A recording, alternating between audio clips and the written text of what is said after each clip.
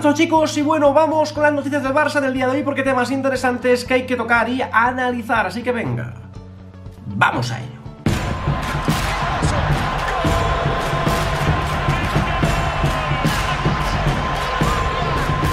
Y bueno, comenzamos, pero antes deciros que hoy el Kun Agüero ha respondido a un tuit mío y me ha hecho ilusión. Le he puesto, ojalá sigas vinculado al fútbol bien como entrenador o director deportivo. Sería bonito verte de nuevo en algún club y por supuesto el Barça siempre será tu casa. Y ha respondido al tuit y ha puesto el Barça y con emoticono con corazones. La verdad, grande el Kun Agüero y ojalá, ojalá pronto lo veamos cerca de los terrenos de juego y pronto lo veamos vinculado a algún club. Enorme el Kun y repito, me ha hecho ilusión que me haya respondido. Bien, pues decía, comenzamos con las noticias y comenzamos con Nico González porque siguen saliendo noticias que a mí no me gustan mucho, noticias que me preocupan y noticias sobre su futuro. Según aseguran, eh, cinco grandes equipos europeos apuntan a Nico González. Tres de la Premier, uno de la Liga Italiana y uno de la Liga Alemana. La prioridad de Nico González, según están diciendo, es quedarse en el Barcelona porque se siente cómodo y es feliz en el club. No, le gusta mucho y quiere continuar aquí, pero los problemas económicos del Barça hacen que no le resulte fácil competir contra otros clubes. Y esto es lo mismo que con Gaby y con Araujo. Ellos quieren quedarse, está clarísimo, solamente hay que ver cómo celebran todos los goles, tal.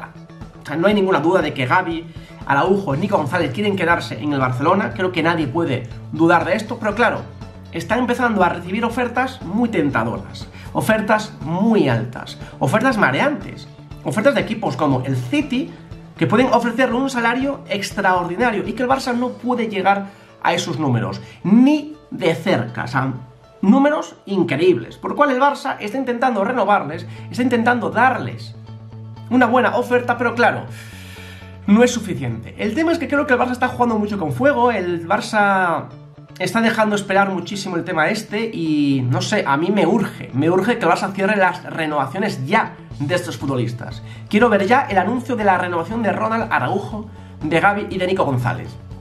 ¿Qué sucede? Que el Barça renovó a Pedri y a Ansu Fati por un salario. Salario que parece que quieren también cobrar tanto Araujo como Gaby como Nico González y que me parece lo más justo del mundo. Al final son jugadores que tienen un rendimiento muy bueno, un rendimiento similar, tienen una actitud muy buena y creo que es normal que pidan lo mismo que a sus compañeros de la misma edad que ellos. Es algo normal y algo lógico.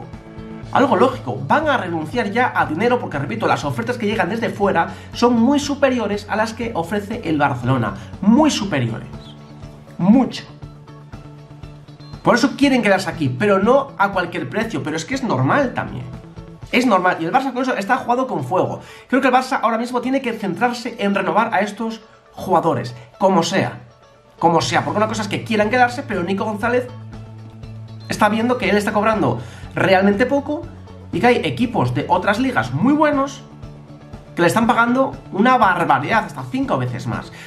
Es que es muy complicado, así que espero que el Barça cierre pronto estas renovaciones porque a mí me urge, me urge ver ya el anuncio de Araujo, Gaby y de Nico González, que repito, ahora mismo el Barça está un poco, bueno, viendo que están llegando muchísimas ofertas y que no pueden competir. Así que tienen que cerrarlo ya. Tienen que cerrarlo ya. En fin, en fin, a ver qué pasa. Luego, Dembélé dicen que da la razón a Xavi, el francés respondió a la confianza de Xavi, está implicado y con ganas de aportar más. Según dicen, bueno, ha sido un buen partido de Dembélé, yo no lo vi tampoco un partidazo, sí que se le vio pues activo, con desborde y tal, pero es que es lo de siempre. Dembélé creo que es un jugador que lógicamente es un jugador único, que es diferencial, que te aporta ese desborde, ese uno para uno, que te genera muchísimo peligro y lógicamente yo creo que todo el mundo sabe que Dembélé puede aportarnos muchísimas cosas, que Dembélé puede ayudar muchísimo al equipo, yo creo que sí. Yo creo que sí. Si está implicado y pone ganas e entrena bien, pues lógicamente Xavi lo va a poner y va a ser un jugador importante. Está claro. Está claro. Hay muchísimas voces, muchísimas opiniones de que Dembélé no debería de haber, de haber jugado más, tal. Bueno, yo lo entiendo, repito, yo sabéis que yo no lo hubiese puesto más, pero vuelvo a recalcar una vez más, creo que es un tema que hay que cerrarlo ya. Tenemos un objetivo en común, tenemos un objetivo y una prioridad como club, que es meternos entre los cuatro primeros clasificados de la liga. Y si para eso Xavi considera que Dembélé puede aportar muchísimas cosas, tendrá que jugar y punto. Es lo que yo creo. Ahora mismo, seguir haciendo más polémica con el tema de Dembélé creo que no aporta a nadie. Y esto resta más que suma, así que bueno, en fin, en fin. Dembélé, si está implicado, pues que juegue. Si Dembélé pone muchísimas ganas, que juegue. También para eso le estamos pagando. Para que trabaje, para que corra, para que aporte y para que meta goles. Así que bueno, en fin. Luego vamos con Araujo, que dicen que estaría dispuesto a forzar para jugar ante el Nápoles. Para mí sería un error. Es decir, Araujo me parece que es un defensa top, me parece que es una auténtica pasada, es una maravilla, hizo un partidazo el último día. Pero si no está al 100%, que no fuerce. Si no está al 100%, que no fuerce. Me parece, en mi opinión, ¿eh? Mucho más importante el partido contra el Valencia en, la liga que contra el Nápoles. ¿Por qué? Porque es que la manera más fácil de meternos en la Champions es quedar entre los cuatro primeros. No ganar la Europa League. Que ojalá, ojalá la ganemos. La quiero, la quiero ganar. Pero creo que es más importante quedar entre los cuatro primeros. Y necesitamos Araujo contra el Valencia. Yo no forzaría. Si hay una mínima duda, hay una mínima molestia, hay algo que no le convenzca, yo sinceramente no forzaría con Araujo. Que así estamos como estamos, de tanto forzar, de tal. Espero que no lo haga. Espero que no. Luego vamos con los datos de Xavi, porque el Barcelona con Xavi es el mejor equipo de la liga en 2022. Desde que comenzó el año 2022 es el mejor equipo de la liga. Los azulgranas acumulan 11 puntos de los últimos 15 posibles y 22 puntos desde la llegada de Xavi, mientras que el Madrid solo suma 8 puntos en este 2022. Y luego Betis, Atlético Madrid y Atlético de Bilbao suman 10 puntos cada uno, por lo cual el Barça de Xavi, el mejor equipo de la Liga Española en lo que llevamos de 2022. Bueno, tan mal no estará y parece que un poco ya se empieza a notar la mano de Xavi, por lo menos en cuanto a resultados creo que no hay ninguna duda. Creo que no hay ninguna duda. 11 puntos de 15 y yo creo que está bien. Lógicamente hay que mejorarlos, hay que hacerlo mucho mejor, hay que encontrar una racha de victorias de 2, 3, 4 victorias consecutivas, porque si no es que es imposible, y así es imposible. En fin, luego vamos con que sí, porque sabemos que el Barça está interesado en este jugador, que va a haber una reunión dentro de poco con el agente de que sí, y dicen que lo último es que el Paris Saint Germain se interesa porque sí y que se meten. Según dicen, el equipo francés se une a la puja por el jugador del Milan. La verdad es que el tema del PSG a mí ya me cansa. Hace un año nos quitaron a Wignaldo. Hace otro año al otro. Nada más que el Barça se interesa en un jugador, ¡pum! Ellos se interesan. Y lógicamente, si es por dinero, el Barça no va a poder competir. Si es por dinero, va a ser lo mismo que con Wijnaldum. El Barça le ofrecerá a que sí, que ya de principio estaba pidiendo una barbaridad, pero que parece que estaba dispuesto a bajar un poco sus condiciones, el Barça ya le va a hacer una oferta igual de 5 o 6 millones y va a venir el PSG con 8, 9 millones. Y que si, si es por dinero y se mueve por dinero, va a ir al Paris Saint Germain. A mí esto me da muchísima rabia porque es que, de verdad, parece que el PSG tiene la vía libre para hacer lo que le dé la gana. Tiene vía libre para fichar y para negociar lo que le dé la gana. Yo alucino. Yo alucino. Y además se meten en todos los fichajes que quiere el Barcelona.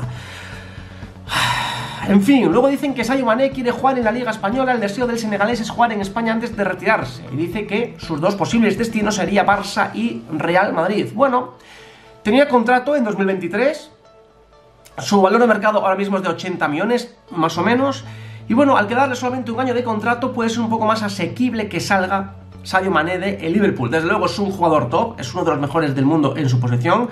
Me parece que es muy bueno, pero es verdad que hoy en día en el Barça yo no lo veo, por algo económico no creo que sea una super prioridad del Barcelona ir a por él. Además tenemos a muchos extremos, tenemos ahí en esa posición a Ansu que se tiene que recuperar, el Barça apostará muy fuerte por él, entonces dudo que el Barça pague más de 80 millones por Sadio Mané. ¿Es muy bueno? Sí. ¿Triunfaría aquí? Sin ninguna duda. ¿Me encantaría este, este fichaje? Sí, pero no es una prioridad deportiva, que siempre digo lo mismo, no porque un jugador sea muy bueno hay que ficharlo sí o sí, no. No. Que luego resulta que se va este, que se va el otro y fichamos a él, bueno, pues encantado. Pero bueno, de momento es una noticia que está ahí, como que él quiere venir, pero que... De momento no hay nada, ni hay oferta, ni nada por el estilo. Y por último, vamos con el brasileño Ángelo, porque sería un buen negocio para el Barcelona, según dicen el club.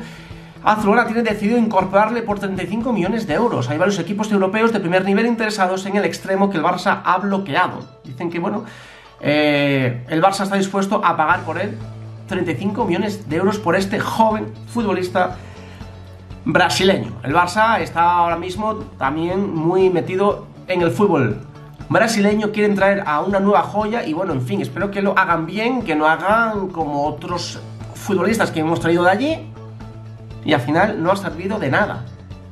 Si el Barça va a pagar 35 millones de euros por este jugador, espero que es porque merezca la pena y sea muy bueno. Hablamos de 35 millones de euros. En fin, a ver qué pasa. A ver qué pasa. Lo dicho, hasta aquí de momento las noticias del Barça en el día de hoy. Ya sabéis, dejadme un enorme like a este vídeo, suscribiros a este canal si todavía no lo estáis y nos vemos en el siguiente vídeo. Venga, un saludo.